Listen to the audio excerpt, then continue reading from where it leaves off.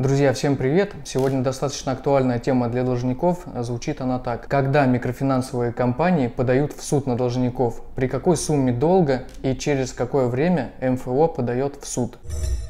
Почти каждый должник, кто брал в долг в МФО, сталкивался с тем, что со стороны микрофинансовых компаний были какие-либо угрозы. Это могли быть угрозы коллекторами э, или мифическими выездными группами, а также угрозами о том, что микрофинансовые компании подадут на вас в суд или опишут, изымут ваше имущество. Я должен заметить, что такое зачастую бывает даже в первые дни просрочек. Я уже говорил, что это на 100% бред, и микрофинансовые организации используют такие запугивания только как инструмент психологического воздействия на должника с целью запугать и в кратчайшие сроки выбить э, с должника деньги. На самом деле правда состоит в том, что микрофинансовые организации сами не любят судебные разбирательства. Они не торопятся подавать в суд на должника. Почему? Все очень просто. Они выжидают, пока накапают дикие проценты за неуплату уплату основного долга, после чего они втихушку получат судебный приказ, чтобы должник об этом не узнал и не успел отменить этот судебный приказ. Теперь, что касается сроков. По нашим данным, на 2021 год это от 8 до 12 месяцев, начиная с первого дня просрочки. Друзья, что касается суммы долга. Сумма долга вообще никак не влияет на то, подаст ли на вас микрофинансовая организация в суд и на то,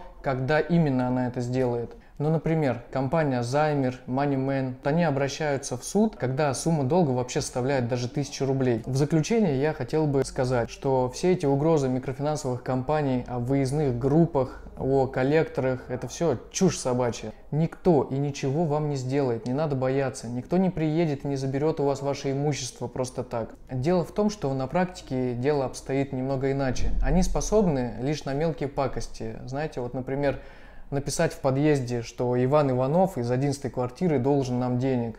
Или написать вашим друзьям в социальных сетях о том, что тот же Иван Иванов условный не отдает нам деньги и тем самым психологически воздействовать на должника. Но на какие-то серьезные шаги они не способны. Подводя итог, я хочу сказать следующее.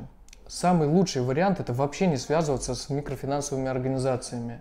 Но, к сожалению, как показывает практика, не у всех людей это получается. И раз уж вы уже имеете долг в микрофинансовой компании, первое, что я хочу сказать, это не надо бояться их каких-то противозаконных действий, тем более законных. Если у вас уже возникла такая финансовая ситуация, когда вы должны в микрофинансовую компанию, а может быть еще и в банке, и ваша сумма долга уже составляет более 250 тысяч рублей, вы всегда можете воспользоваться своим законным правом воспользоваться федеральным законом 127 и списать полностью свои долги на законных основаниях. А я напомню, что мы как раз занимаемся э, списанием долгов через процедуру банкротства граждан. И с 2015 года мы работаем в этом направлении. С этого момента мы не проиграли ни одного дела. То есть всем нашим клиентам были списаны долги полностью. Работаем мы с оплатой за результат, и всем нашим клиентам мы предоставляем рассрочку на срок до двух лет. Друзья, я уверен, что у вас еще будут вопросы, и задавайте, пожалуйста, их в комментариях, не стесняйтесь, я лично буду каждому отвечать. И если материал был полезен, пожалуйста, ставьте лайк,